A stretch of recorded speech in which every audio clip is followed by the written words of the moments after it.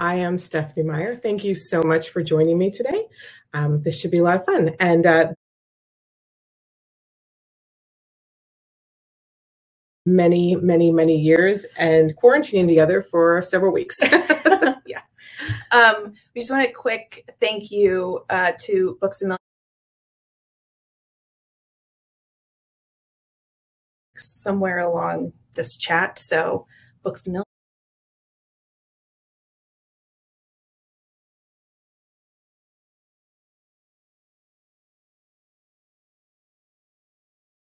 We're just going to dive right in. Uh, and get started. Stephenie, yes. welcome. This is from Amanda. She would like to know how much input did you have on the Midnight Sun cover art and what did it mean to you? I had a ton of input on the cover art, um, which is great and not necessarily something you should count on when you start publishing a book. I've actually been really lucky. Um, most of my covers I've had input on, not all of them, um, but it's been great because I feel like the the covers go together well and they they all have some meaning. Um, so here's this cover. Um, it's shiny.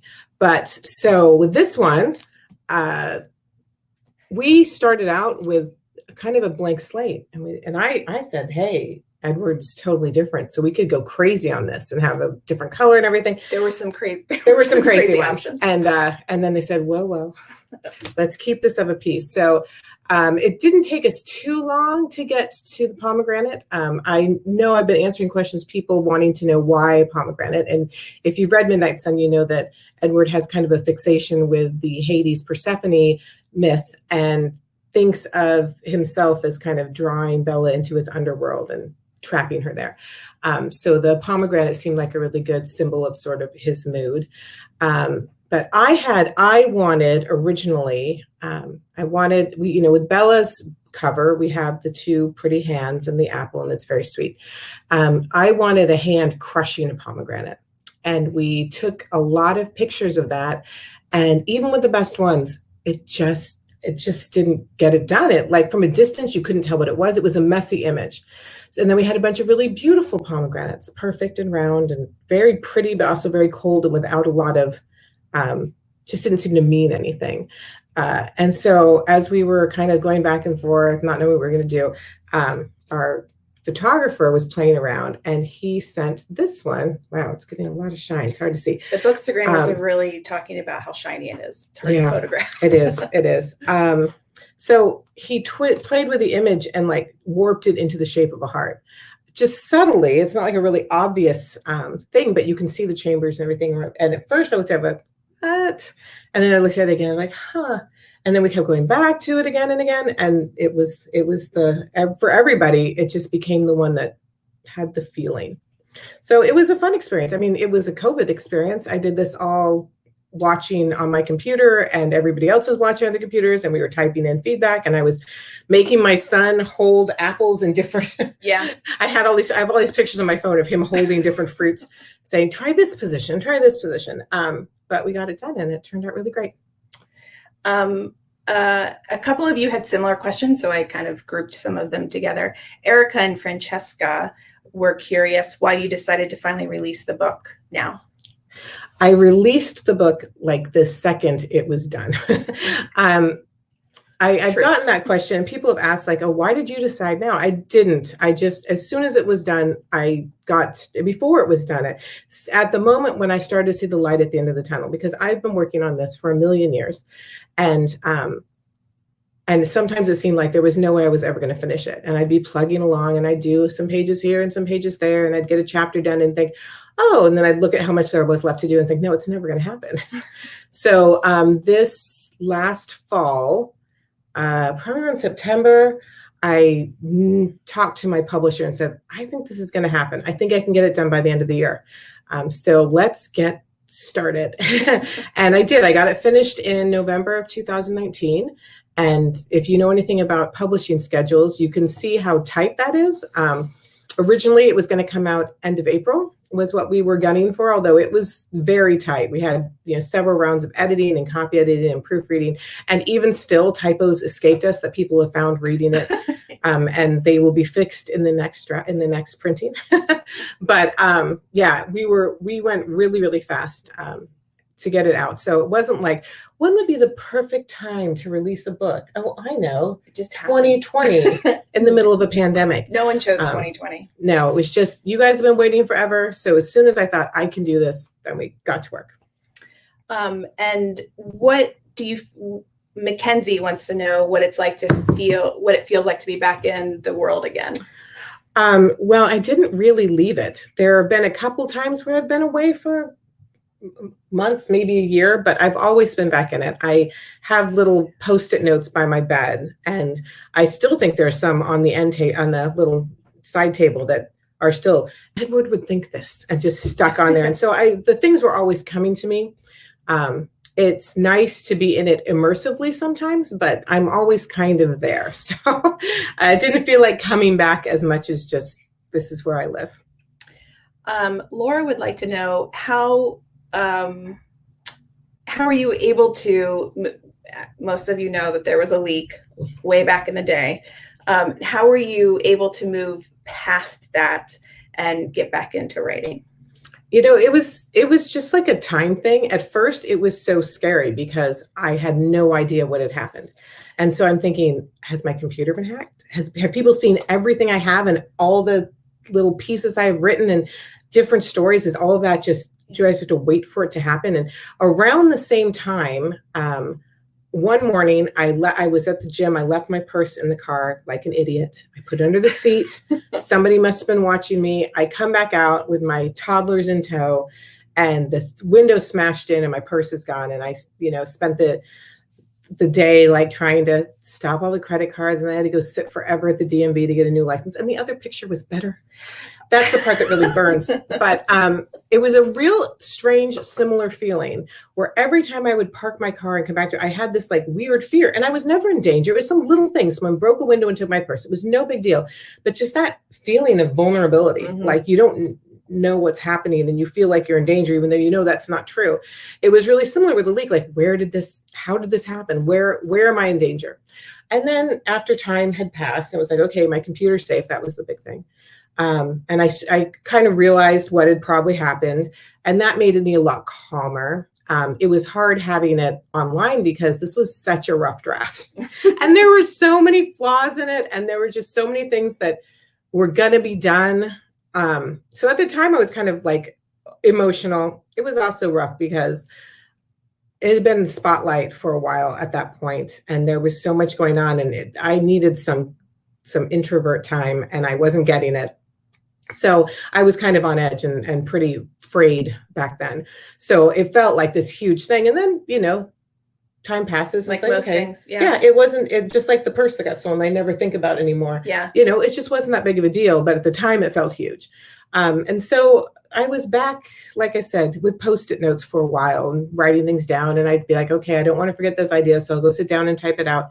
And that just kind of morphed into longer sections and I'd be away from it for a while and then I'd come back again. So it didn't really impact the the time that it took to write the book. I mean, it was a blip compared to just the general obnoxiousness of trying to get this out. um, yeah. This is sort of similar. Lori and Angela also had similar questions. When did you actually finish Midnight Sun? I sort of I touched on that this. Yeah. Um, uh, it did not sit unfinished for a while, as we have just yeah, learned. yeah. It was always being Yep. always in progress. Just a really hard book to write. Yeah. Um, in Midnight Sun, you we get to see more of Edward's relationship with his vampire family, which is awesome. What was your favorite relationship to write? Okay, so I've noticed Oh, in that the- was from sorry, Jenna. That Jenna. Okay, question. Jenna. I've noticed that uh, the word favorite gets bandied around a lot in these questions. And that's just not something I can choose for a lot of them. So for this one, there were, you know, there are many relationships. And of course, seeing how he and Alice kind of work, getting to see her visions through his perspective was super cool to do. But then I also, you know, love him relaxing with Emmett. And I love his moments with Esme where you know you really get the feeling of the the mother son you know all of them I, I guess the one that isn't great is him and rosalie but then you get so much information Um, I do, but I also feel I've said this a couple of times. So if anyone's heard it, I'm sorry, but I feel like it's better. Rosalie's better. See, I, I don't give Rosalie her. as much credit. Um, I didn't either. Not until not. Well, until you get you get to see more of what's going on with her for sure. Yeah. But they, you know, they're they don't have a great relationship, and I blame her. um, do you? We'll get this one out. This?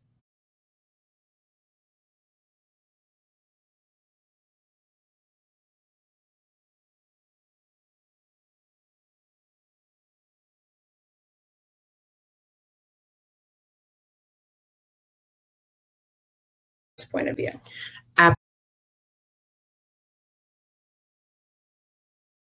Some things today with people saying how much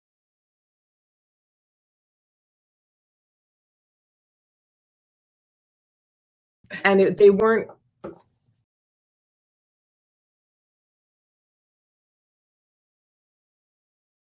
gripped into it. Like I was thinking about it every second that I wasn't working and I was up at night thinking about what would happen next. And every second I could get at that computer,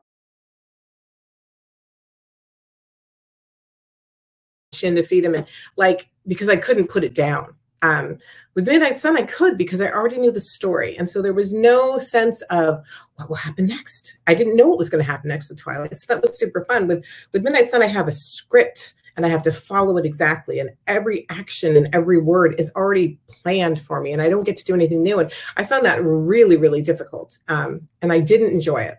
So that was one that Edward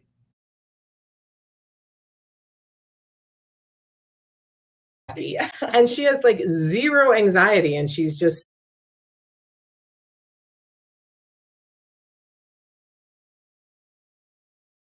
a little bit more optimistic and and fall in love and be happy. And when I'm in Edward's head, I have to suffer.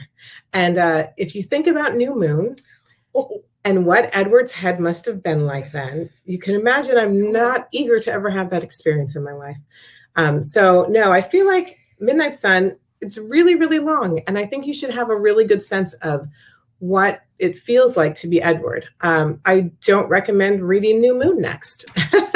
I think you should read Breaking Dawn and remember that he gets to be happy someday. I think I think that's what I had to do when I was done too. Um, so to give some people a little bit of hope after that, um, Alicia and Molly and a bunch of other people um, were wondering if writing Midnight Sun has sparked your interest to write any more in the saga, specifically, you know, Jacob and Renesmee, Leah, my personal uh, favorite, um, any other characters? So the stories are there. Um, there are two more books, I think, in the in the world that I want to write.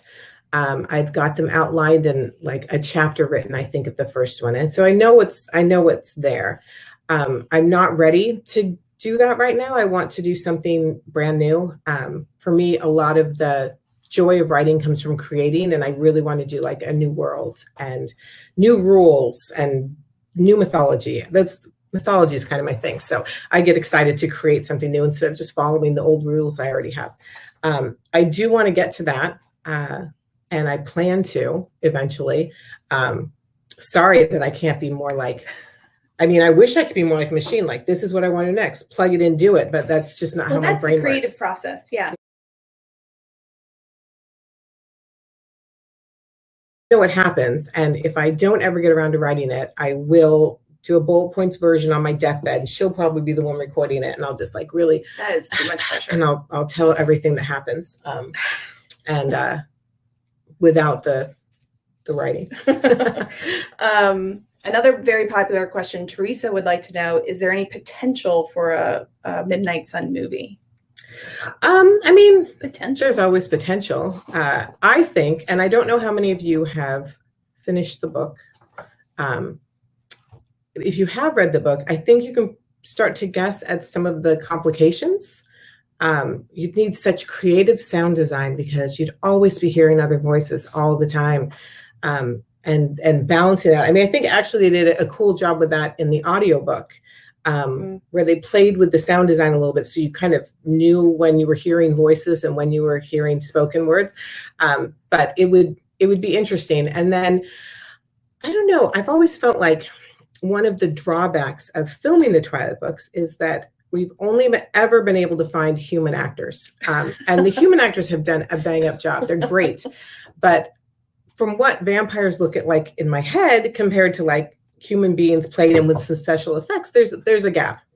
Um, so I've always thought that it would be really interesting to do an animated version, um, particularly when I saw Into the Spider Verse, where they did some amazing creative things. It's like you know, maybe that's the way. But so there's, it's going to have to be something that I felt really comfortable that it was going to be right um, before I get started. So I don't know. It'll be a while if it does happen. Um, another movie type question. Have you heard any songs lately that really make you think, yes, if we were filming any of the movies again, this song would have to be included? Well, that's not really how music and movies work. Um, I don't get to pick the songs. We'd have, I mean, I love the soundtrack. Not as the author. Not as the author. no, directors pick the songs. Um, so on the other movies, I I love the music, but most of it was something I was introduced to through the movies. It wasn't something I said, "Oh, this song belongs here," because I don't get to say that. Um, so if you're looking for like the the music that moves to this beat of the story the way I do, then that's what the playlists are for. Mm.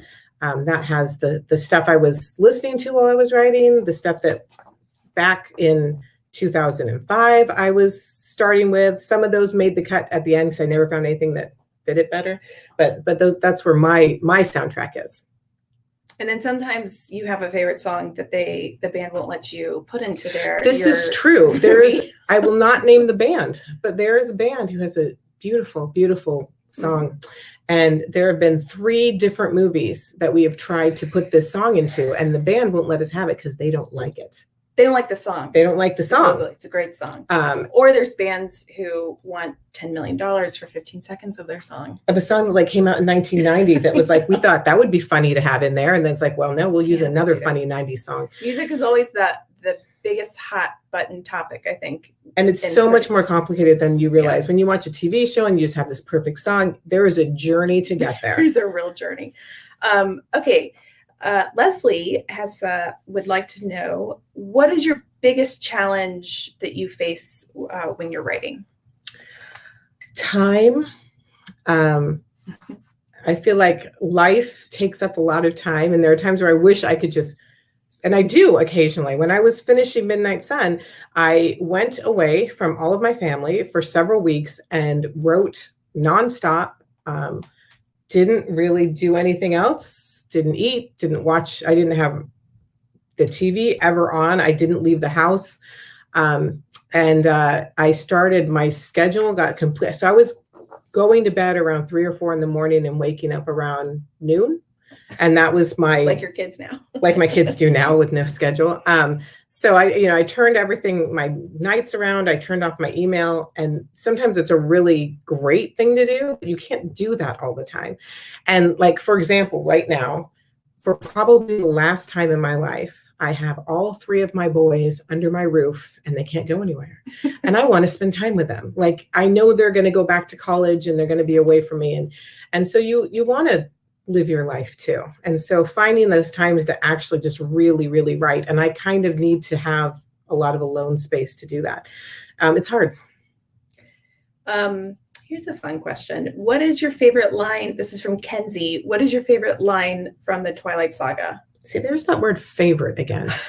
Um, it changes all the time. Right now, because the last thing I did was Midnight Sun, um, I'm going to say the part that I think I might be the most proud of is after Edward watches James's video and he has an emotional moment. to say the least. To say the least. Um, and I think that piece that ends that section is is my very favorite right now. My favorite is stupid shiny Volvo owner. You like the funny stuff. I really do. Um, because it's so much sad. So so much sad. so much sad. So I need I need the happy. Uh, Marika and Brooke had similar questions. Um, and also a lot of you had this question, so I'm going to let you address it. How are Edward and Bella doing now? Do you ever imagine where the Cullens are today? Um, so we got a bunch of questions that were ranged from like, where are they now to Um, How are they spending quarantine? how are they? Yeah, how would they spend quarantine to like in November of 2009? What did what Esme and and Carlisle do for a date on a Friday night? And it's like, okay, um,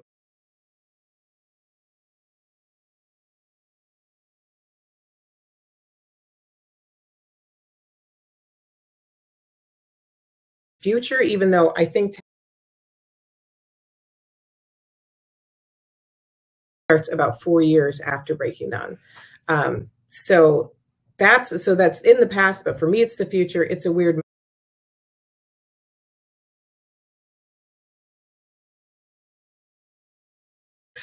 um i don't like just have off the top of my head you know what happened at this point what happened at this point and it's all i don't i don't want to have it defined because a few flashbacks.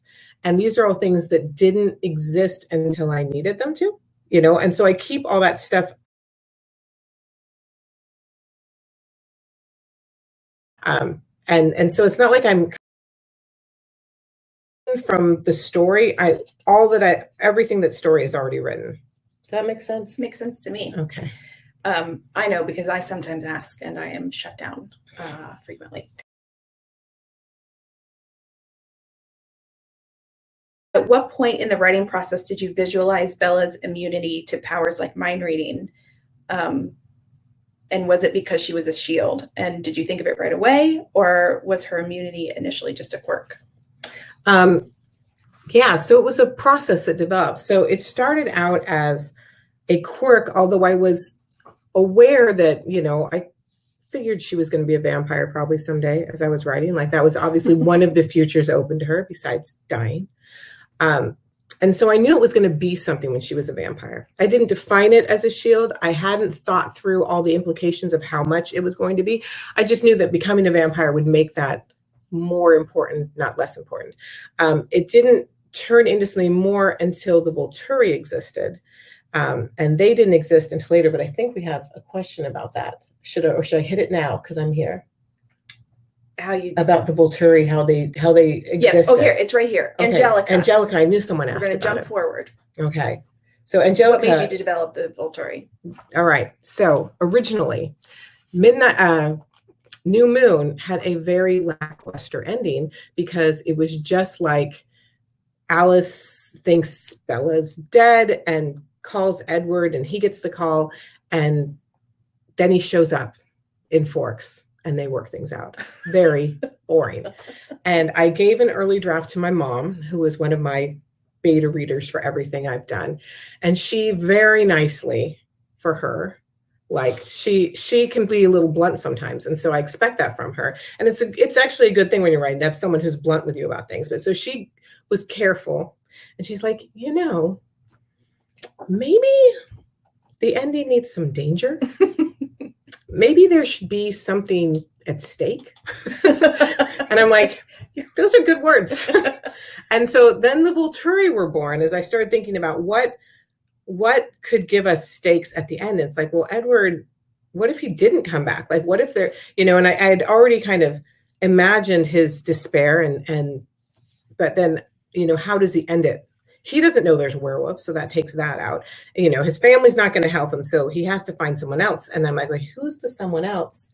And then i started thinking about the world more because it's always just been this little world with the Cullens are the most powerful thing in the world that we knew of. You know, we had a couple, we had James show up in Victoria and, you know, some rogues, but they weren't powerful compared to the Cullens. And so I'm like, oh, someone more powerful, really powerful. And and that was fun. And then I and then that got into like the idea of, you know, what would make them powerful and, and their collection of talents and finding people who are special. Um, really sort of coalesced the world for me. It started making a ton of sense. And and then I thought about how Bella would fit into that and what she could become more specifically. So those things are linked, you know. The Volturi gave rise to Bella superhero.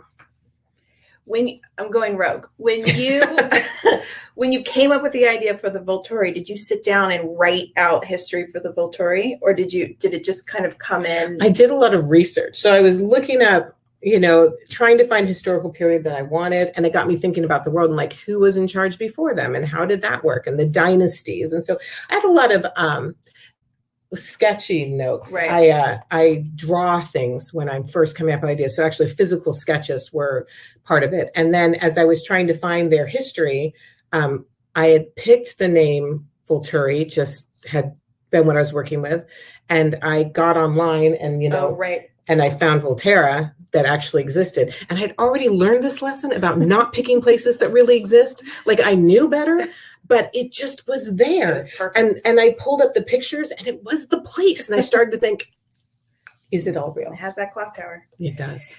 Um, okay. Uh, I wanted to start with this question because it's my favorite book, but I thought I'd wait.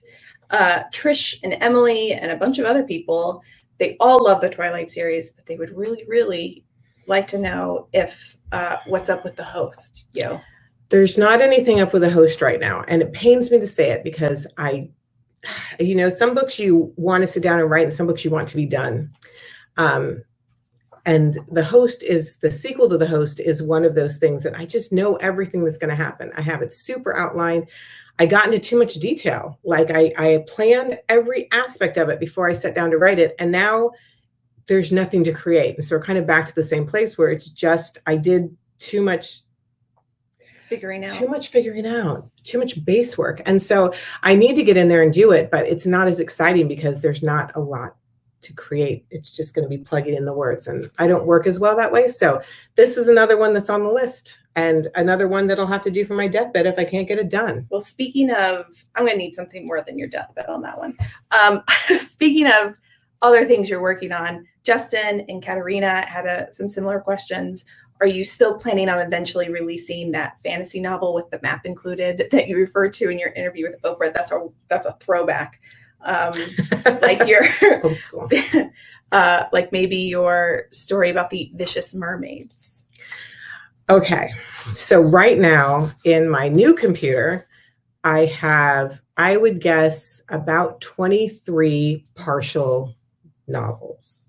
Some of them are just a quick outline so I wouldn't forget the idea. Some of them have chapters, some of them have whole Pinterest boards dedicated to them. Um, and many of them are map in the front piece fantasy novels. And so that may be the next thing I do. The mermaid one is in there, and that's one I, I really want to do, but it's huge. It's a big book, and that's really intimidating. Um, so I'm thinking some of the others that are a little bit less. I've I've lived with that one for a long time, and the longer I live with something, the less exciting it is. It's just a really sad fact. Um, and so I'll probably do something next that has a map. There's one that doesn't. That's also exciting right now. So I'm not sure. He does. She doesn't. She knows everything, and she doesn't want me to. She has two map books that she wants. I like that we call them map. Map books books. two map in the front piece fantasies and she is torn down the middle on which one she wants more it varies from day to day Well, because one is just like a couple of weeks ago, she called and said, You know, I was driving the other day and I was, and initially I was like, Stop. There's only one that you need focus, to on what you're supposed to do That is why I wanted Midnight Sun done so she could do this other one. But now I don't know. yeah Now I'm torn. she's easy to sway it's true. Um, okay, Jennifer would like to know uh, Would you consider co authoring a book with another writer like some of our favorites, Shannon Hale, Rainbow Rowell, Jenny Lawson, who has a bookstore, the Nowhere Bookshop, that people should? we will visit someday yeah. when we can it's on my list Yep. um i have thought about that and some of it is like super appealing the idea of having someone else to work with and and collaborate with because i've i've spent time um, rainbow and i did a uh, a retreat once and we just you know we're working on our own things but talking about it with someone who gets the process was really helpful. And so it, it sounds like a good idea but then i know myself and i've learned from making the movies where we have someone else writing the script and someone else putting words in my characters mouths that i sometimes am difficult. Um, and i'm not usually difficult to anybody's face. Like i'm difficult on the inside and i think things. I don't do something different with a character that that I love that I was writing, I, I don't know if I could do it. So I haven't ever tried. Maybe it'd be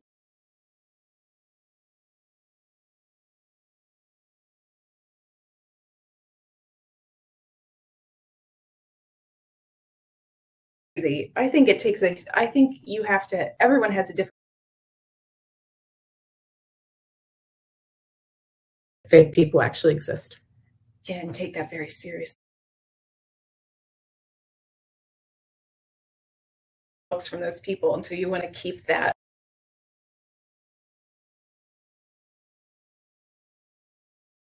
That graphic novel of I don't want to die for it, but I Live would. for it.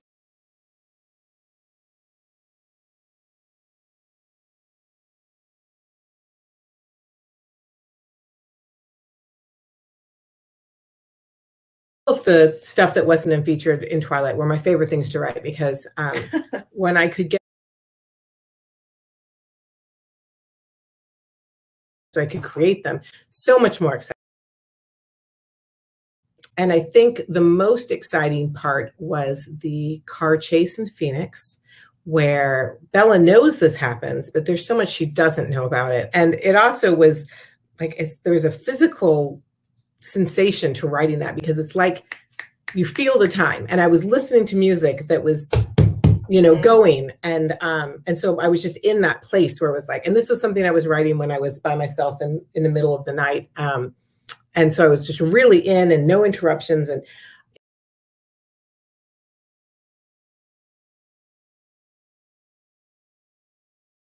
because i go downtown sometimes and and so every time i'm on that road i think okay this is where this happens and this is where this happens and this is where the mirror breaks off and this is you know and, and it's great and we did it we broke the speed limit a little bit, but not a lot, not as much as Edward. And uh, but just watching him shift through it and like imagining it, it was pretty cool. Um, okay, Twyla and Sh- I'm. I hope it's Chandra, maybe Chandra, um, have some similar type questions. So bear with me. Twyla specifically would like to know: Have you considered doing a book about Freaky Fred's life after he disappeared? Chandra, um, similarly was wondering if more Volturi are coming back. So I'm not going to answer those very specifically because spoilers. However, I do plan to see Fred again. Um, he got to stay alive for a reason. Um, he wouldn't be in the next novel. He would be in the one after that. Um, but yeah, I I I know his where he goes from that point on. Um, and then the Volturi obviously have to be dealt with. You know, they are the big the big bad. They clearly are not going to leave the Cullens alone. um, so that is uh, that that they have to be dealt with, and and they're not going to do this like, hey, let's you meet us here and we'll fight it out. You know, they're going to come at them from the side. So that is coming. Yikes. Uh, Brittany would like to know between Twilight, Midnight Sun, or Life and Death, do you have a favorite version? Favorites. Again, with the favorites. Sorry. However, I would say kind of Life and Death because um, just kind of broke away from all of the expectations of like what you see in your head. And I got to see new things in my head. And I love Edythe so much. and I love Archie. I really love Archie. I'm going to tie this into the next question. Um, what book of yours would you like to make into a movie next? well, I mean, the one that is primed and ready to go is The Chemist. Um, yeah. We were going to do that as a TV show, but like a limited run, you know, eight episodes. I think we had eight to 10. We planned out eight, we planned out 10. I wrote the script for the pilot and I like it a lot. Like I'm ready to, to make that happen. So that one would be fairly easy to fall back into, but I would like to see like Life and Death. That would be trippy, right? Oh, and fun to cast. Just Archie. love Archie. Yeah. love him. Um, Madison and Louise had some similar questions. Uh, they are aspiring novelists and was wondering what the process was like um, in terms of getting your getting a book published. I mean, I'm thinking it probably has changed quite a bit because I'm old now. Like you know i was talking about writing twilight with a baby in my arm. That baby graduated from high school this year. So um, it's been a while and everything's changed. I imagine a lot more is done online. Um, when i was starting uh, so i finished my book always a great place to start i think that like worrying about publishing when you have five chapters done is worrying you don't need to do that's distracting you write your book, love your book, get a reader or two, make sure they help you out. Hopefully, they're like my mom and they'll just be like, maybe some danger. Very And they give you useful things to do. Make those changes, listen, but also listen to yourself. And when you feel like this is just not what my characters would do, listen to that. Get it where you want it. Um, then go online and do some research because when I was doing this, you sent physical letters out to agents. You sent one page that was called a query that just said, This is my name. Here's a paragraph about my book. I've never written anything before. and You don't know who I am, and I'm totally unimportant. So please just ignore this. um, and then my agent told me after after uh, so her assistant pretending to be her asked for a copy of the book um, and i sent it to her and then my actual agent contacted me and said hey we want to represent you which was amazing Mhm. I I still i remember that morning and it doesn't seem real even now um, but she told me later that always send the book with the query. And it said online very specifically not to do that. So I'm a rule follower and I did what I was told and it worked out. Um, but I imagine now everything's online. Back then they said, don't send emails, they're too hard to hit delete on. Send a physical envelope. Um, They're pretty well laid out online. If you Yeah. find find the person who or the company who you who you feel like would represent your book the best and just read up on them. well, and a good way to find that is if you think my book is like Twilight or my book is Check like this. Look at who their agent is, pick that way. And then don't worry about the publisher because that's what your agent will do. Agents Yeah. are wonderful. They're great. Don't skip that step. Agents are important. Um, this is our favorite question, so I won't put you through that. Which perspective did you enjoy writing uh, the most, Bella, Edward, or Jacobs? That's from Taylor. Uh, right. Taylor Lautner. Taylor. No. So, um, like I said before, Edward was painful. And Jacob, I think if I were writing Twilight from his perspective, which would probably be a pretty boring book because he just mostly is down in La Push not doing much. Um, New Moon would be more interesting. Uh, he's pretty happy go lucky at that point in time. And so he shouldn't be that hard. But so I have to say Bella, because when I did write Jacob, it was at the worst point in his life, which is what I tend to do, I guess. And so he's really unhappy then. Oh, you do sort of Yeah. the host, Right? the chemist. It's a lot. everyone's Well, you have to write characters that are in chaos, or else there's Yeah. nothing to write. But so Bella's the happiest one, and so I I like writing her because then I get to be happy. Um,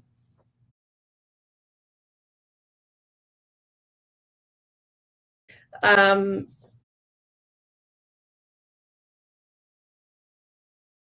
mind, he just gets a hum of what he's thinking. Would Charlie then also have a gift if he if he became a vampire, and if so,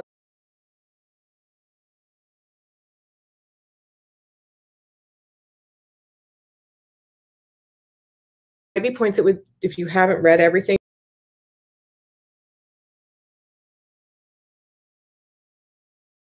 Um, so yes, Charlie Turi loved having um, Eleazar because he could kind of feel things out. And if there was a human that was unusual, he'd be like, "Oh, there's something with that kid," and they could just turn him. And then if it wasn't important, you know, kill him.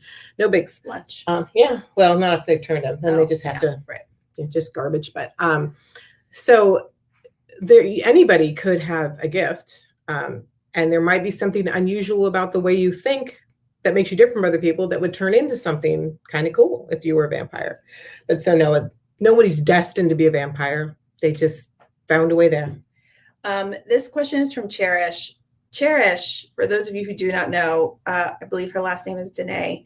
She wrote a song for Midnight Sun called Silence. It is so beautiful. You can so gorgeous. I don't have all of her stuff on my paper, but if you go to Stephenie's website and you scroll down through some of the updates, there's a place, lots of places where you can download it. She really got Midnight Sun before it was out. Like she got that perspective. Yeah, it and it's and I mean, and it's not just that she understood the story. What a talent! Her voice, her songwriting, amazing. beautiful. So if you're watching Cherish, yeah, good job. Um, her question is, uh, were there any other baby names, boy or girl, for Renesmee? um, so And as- more than one person asked this question, Wow. so it's included. and you know, outside of the fandom, I get a lot of grief for a lot of things, you know, because I do nothing right um, from some perspectives. Um, but inside the fandom, nothing have I got more grief on than Renesmee. um, if it had been a boy, the name that Bella had chosen was Edward Jacob, um, which is, you know, a fine name. but not very exciting. Um, Renesmee, I think, is a great name. And yeah, it's a made up name, but most names are like, where did Stephenie come from? Where did from Megan Stephen? come from? But Nowhere. Steve, you know, the, we made up all the names. And if you listen to the sound of the name, like there are names that we have retired. Um, we don't do a lot of Mildreds anymore because it's this hard sound there and nasally sounds. All of the sounds in Renesmee are really pretty. There are lots of three syllable names. Um, and it suits her because she, there is no one like her. Um, so I don't hate it, but I know other people don't love it. There were, there was never another name for her though. That was always her name.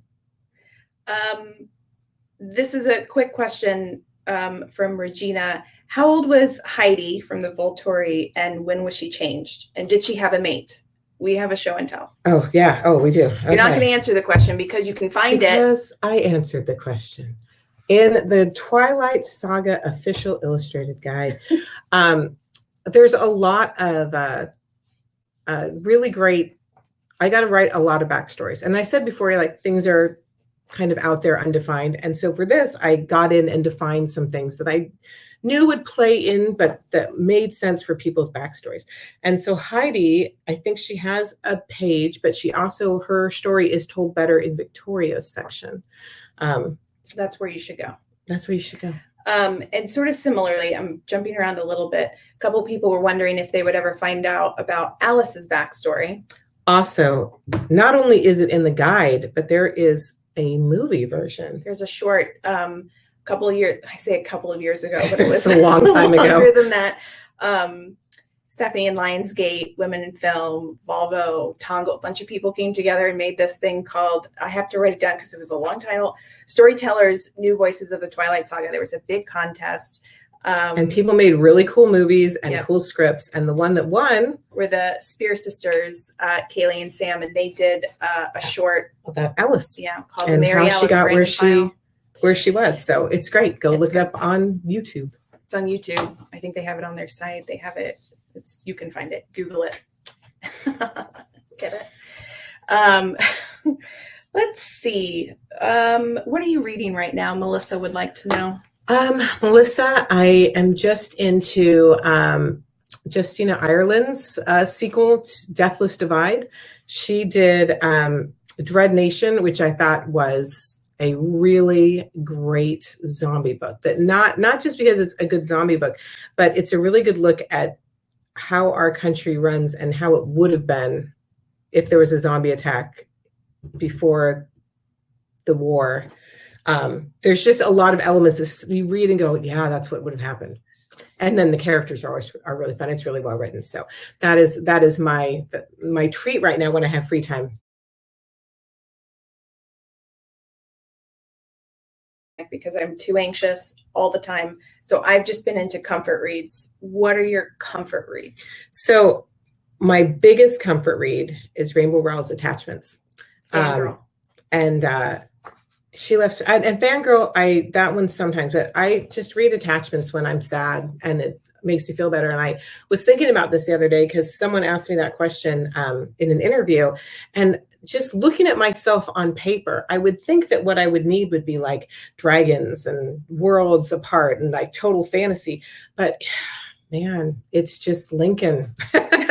Yeah. it's just you know lincoln and beth and that's where my happy place is so Um, this is a very specific question from Norma. She wants to know what role volleyball played in your life. and did you play in high school? It's a big. Oh, Norma. Um, I am a horrible athlete. Um, and I did play volleyball. Um, not in school because I was a big high school where people had to have talent to play on the teams. I played with my church youth group because we all had to, and I didn't have a choice. and uh, none of us were great, but I was definitely the worst. And so every time it was like my turn to serve, everybody else was like, oh, here we go again. Um, so yeah, I don't love volleyball. um, I played vo- played volleyball in high school. I rode the bench. Uh, my dad really wanted me to be an athlete. Um, would you ever consider releasing Forever Dawn? What Sandy would like to know, or would you consider letting her borrow it? Um, oh, I'm not sure I still have it. Oh Lord. I mean, seriously, There's I been a lot of computer. there have been a lot. crashes. And so I have an old computer and I've got some thumb drives. I'd really have to look. I don't know where it is. I did copyright it though, because all I have to do is just mail Well, it is in. somewhere. So it's at the Library of Congress. um, I would not ever publish it because A, it wasn't great. And B, I rewrote the story so it doesn't exist. But like sometime if you guys, if you want to get together, um, we could just sit, Sit down and back here on yeah, this couch. you'd have to like not leave the room and just keep it there. But maybe we can figure it out after I find it. I've never, I have never read it. No, and she's seen everything. So that's how buried that is. Um, do you have? Who, who asked? this is from Christina and Jodi with an I. And if this is my agent, if this is Jodi so Reamer, you know you're not allowed to do this. she's in here somewhere. Um, uh, favorite scene from the books that didn't make it into the movie. Okay, all right. Um, Jodi, who's probably not my agent, um, and Christina. and Christina. Uh, so I missed the blood typing scene a lot. Yeah, man. That one, I I liked it. It was romantic in such a weird way. um, what are some other ones that that one's probably the big one. I mean, I miss the extended meadow where they actually talk about everything. Um, we got, we, you know, movies are short. You can't put everything in. And so we got just like a few lines in the meadow. And there were like, we didn't get to see his little like panic attack that Yeah. I liked. And um, so, so that would have been nice. That's why if big if it were to ever have if a movie version ever comes out again, it like It won't be a movie. It won't be a movie. It'll Yeah. be TV because that's the only place Pride where you can do the full length. BBC. BBC Pride and Prejudice, perfect hour- adaptation, right? Nothing exactly. Yes. Um, let's see. So many favorites. We'll just ask them and then I'll tell them why they're wrong. I have a note here that this is from Kelly. Who is your favorite char- the favorite character you've created in all of your books? And legit, I wrote, "How dare you ask?" Kelly?" okay, you might as well come to my house and say which one of the children you birthed is your favorite. Because it doesn't, you don't have favorites. You can't have favorites. I mean, even the villains are kind of important, right? You know, and you care about them. And so you you can't you can't pick favorite characters it's mean. They they'll know. They're in my head, they'll know. um, is there a chance? This is from Nadia. Uh, is there a chance we'll get to read more from Beau and Ida? No, I mean I do love them. I love them dearly, but uh, I don't want to write more books that are kind of what's been written. Now it'd be different, right? Because you don't get Renesmee, so that would keep the Volturi from getting involved as quickly. But you know they're coming back anyway because once Edward went there and they saw what was going on in Forks, they were going to come. So it would get to that place eventually. Um, and I don't want to rewrite anything anymore. I just want to write new stuff. Um, Rebecca has a very detailed question about. uh, I'm not going to read the whole thing for you, but she's had a, a very years long friendly rivalry with her friends, needing needing they need to know which high school in Arizona Bella went to. Was it Horizon, Kellen Lutz's alma mater? Really? Yep. Or Chaparral, your alma mater? Given where I placed her house, um, She also mentions that in here. she is a Horizon student, as was my husband. Um, my husband and I went to rival high schools, uh, and uh, all we all know Chaparral's the better school, but Bella went to Horizon. Rebecca, I so it didn't that- bother her education that much that she ended up at Forks at a little school because I mean she was only at Horizon anyway. Right. Uh, I hope that solves your friend. I hope you were on the Horizon side and that Yeah. you won. Um, I think we're nearing the end here. Do you have any upcoming projects outside of books that you are excited about? And sort in addition to this, what's it like being a producer now? Stressful. Being a producer during a pandemic is stressful and boring because you can't do anything. Um, and there's things that I do want to do. We're we've been working for a while on. Would love to see. It's going to be a television show someday, um, and it's we're, we're going to get there We're getting there. it's it's frustrating right now you know we can't do much but we'll get there um, i also would really love to do uh, midnight in austenland because austenland is the best movie experience i've ever had because it's a comedy and we had all these funny people and we were laughing our butts There off all no day long special effects. and there were no special There are a few little ones. Yeah. But it was great um, and midnight in austin land's always been my favorite of the novels. Um,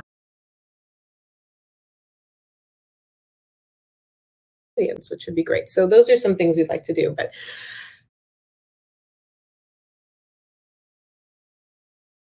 so Um, takes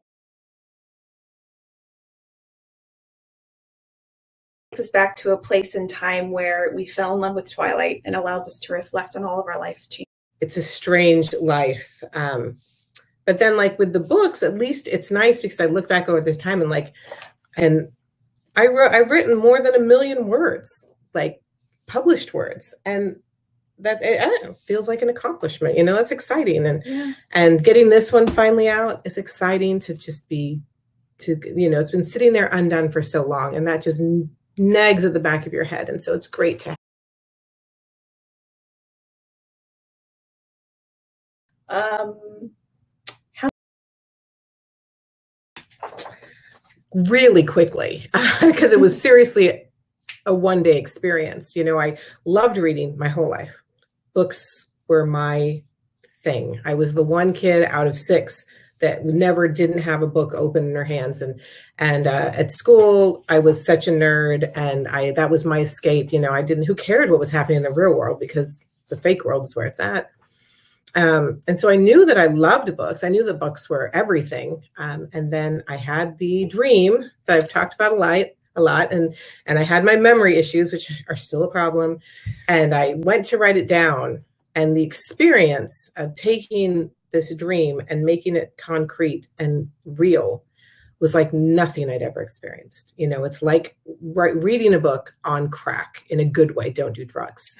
Um, but like it just everything was turned up it was so much more than reading to create it and so that one day i was completely hooked like it was a done deal and if i'd never gotten published i would still write stories because it feels like nothing else um, what advice? This is from Shauna uh, and Michelle. They had similar questions. What advice would you give high school students who love to write, or just I would expand that out to say anyone who loves to write, sort of your next generation of writers?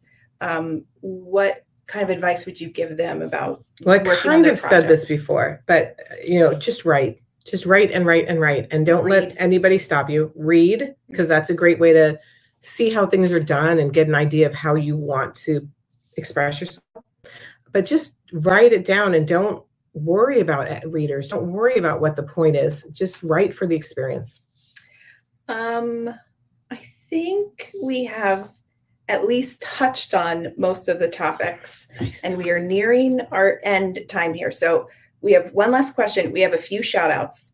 Um, it is oh happy birthday chloe Chloe's birthday. thank you for joining us on your birthday that's Happy really birthday. nice Also, uh, you got a little note from a friend from high school. Her name is Stephanie. Oh, Stephanie Mansky. She was in my art class, and Yes. I was, I was, I Megan showed me this and was like, she well, she said to me, I, I got one from somebody who knew you in art, but I don't remember her name. She was a junior when you were a senior. I'm like, oh, Stephanie Mansky. Um, And I was like, no, I hope that you're right. awesome right now. Um, I can't, I have no idea what you've been doing for the last million years since we've been apart, but hopefully it's been great. And hi. uh, she specifically pointed out the state fair. I would love to know on the DL. You can tell me what happened at the No, state we fair. just, we were in art class. We exhibited our art at the state fair. oh, and okay. and won some awards and were awesome. Um, okay, last question to wrap up this shindig. Um, lots of similar questions, but specifically Brianna and Jacqueline. Um, what have you loved most about the world of Twilight and the fandom? Um, well, the fandom is kind of aside from writing the world, which you know is like a drug. It's awesome. Um, don't do drugs. I wouldn't know. I don't do drugs. I'm just comparing it to what other people says is awesome. But writing is a rush. It's amazing. Um, There you go, a rush. but like that, that that all these people care about it. It's kind of amazing. And then you care about each other. Like Twilight has been for some reason a, a connector. It makes it people found each other. We found each other because of Twilight. Mhm. Um, we have we work with um, some great, amazing ladies who found each other through Twilight, and and not only do people find friendships through it, they last.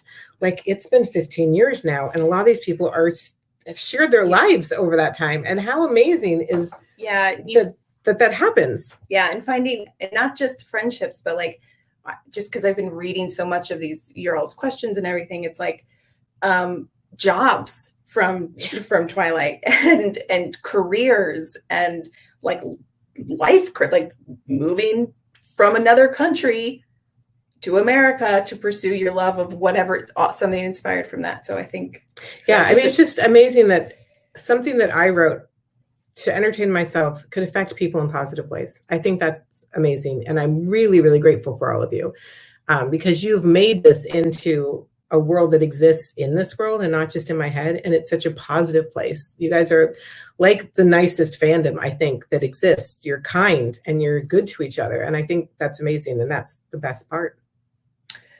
Okay. I'm through my 10 pages. That was a lot of questions. We went longer than we were supposed to. So we have a few wrap up things we have to say. I'll let you go first. Um, all right. So again, thank you all. Thank you so much for being here today. I, I wish we could see you. Um, I wish you could ask us these questions live. Um, but at least we had this. And thanks to Books, Book, Books a Million because we wouldn't be here without them. Yes, and for doing all the tech because that's stressful. Um, so, uh, Books a Million has a link. It's a button. It's you right can there. see, see right down here, a green one for tonight only, and for just you guys on this uh, in this event. It's a buy two get one free of the other Twilight paperbacks, so you can grab those tonight, maybe for some friends who haven't read. Christmas is coming up. it's Chloe's birthday. It's Chloe's birthday, guys.